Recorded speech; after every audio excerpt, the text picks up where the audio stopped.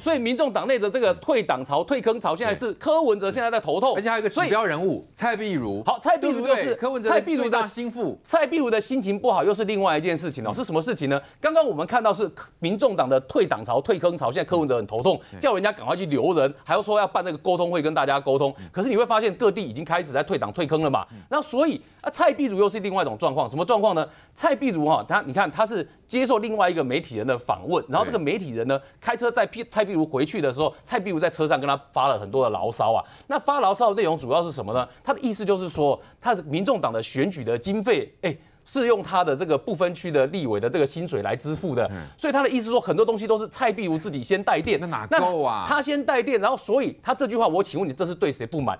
听得出来，就他的这个不满呢，感觉就是对柯文哲现在有不满嘛？对，民众党现在处理方式有不满嘛？选举经费都是由他先带电，哎，他这句话好像在暗算另外一个人哎，他等于在暗算说高鸿安的这个公积金的部分都是用处理的加班费，用处理了高低薪高报的部分都可以拿去先垫掉，反而是选举的经费蔡。例如他必须要用自己的薪水来先带电，户头剩六万哦。他说他户头只剩六万，而且这件事情我们查证过，他说他确实户头真的只剩六万。当事人自己也承认很惨呢，所以他自己自掏腰包。当然，当然我们不，当然这个蔡壁如的财产剩六万这两件事情哦。蔡壁如的财产按照申报还是一千多万哦。他是讲他当立委的薪水户头里面只剩下六万块，好，不是蔡壁如只剩六万。今天我看到有些人误会说他只剩六万块，想说怎么那么可怜，其实不是，他的财产归他的财产，这六万块是他薪水那个呃立委薪水的账户里面。剩下六万块，所以呢，另外一个媒体人听到蔡壁如这样抱怨的时候，才解读说蔡壁如想要离开了。虽然蔡壁如这个接受另外一个人的这个这个，我们说跟他的查证的时候，蔡壁如本身不愿意承认说他要离开，但是呢，另外一个媒体人就是就想说，你明明就已经在车上跟我讲那么多，看起来就是不爽的事情，你就是一心想求去，那你现在还说你没有要离开，而且最重要是在民众党内现在还有另外一个不爽是不爽谁，你知道吗？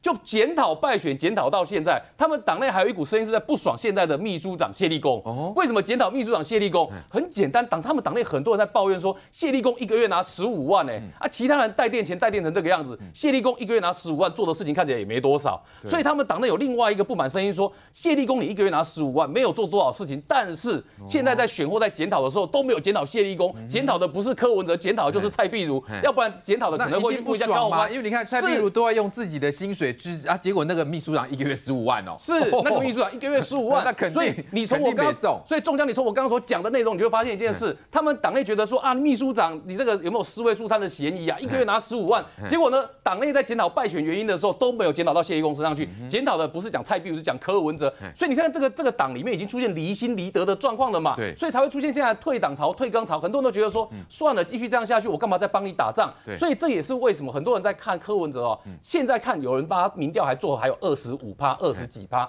可是你要想说，他如果他台北市市长卸任之后，然后一段时间没有舞台，而他的民众党现在又是处于离心离德的状况，哎，各位，你觉得他现在这个民调支持度到明年还能够维持有二十趴的强度吗？坦白说，我对这个是打一个非常大的问号。好，柯文哲呢突然呢暴怒哈，然后又炮轰蓝绿哈，再要污国家的钱哈，到底怎么回事呢？再来，现在民众党因为这个哈选举之后成绩不如预期，所以现在面临跳船潮嘛？于将军怎么看？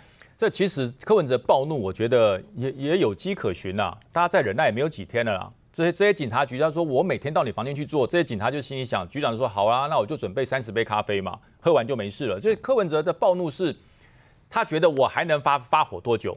我还有多久人家会关注我？我很快就没有关注度了，所以他必然要暴怒。另外讲到民众党的跳船潮，这也是预期，因为当时民众党在做二零二二选举的时候，所有地方的这些议员，他们组了很多很多的群组哦。就只要你是蓝营不提的啦，绿营不提的，全部来我这边。所以你看，民众党的议员，这真的是那个参选人，真的是非常非常的所谓的，他说能够说踏破蓝绿也也对啊，应该是蓝绿所有无法提名的都到他那边去了。所以这些人他为了什么？为了参选利益而入党。那么选举结束的时候，发现无利可图嘛。我参我参加你民众党，我当时还不如用无党机选，可能选得上。